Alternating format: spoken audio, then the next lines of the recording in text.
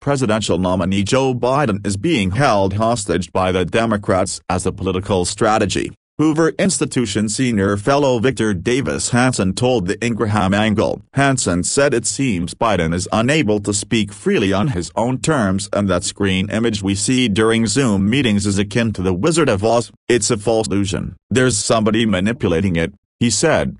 Hanson said the Biden campaign had to make a calculated decision that running a virtual campaign is a safer option than letting him be out and be a regular candidate. Biden also has to walk a fine line when it comes to condemning police violence so he does not compromise his base. Hanson said Biden campaigns on the idea that America's troubles, including protest violence, the coronavirus pandemic and the economic recession will all magically disappear upon his election, Hanson said.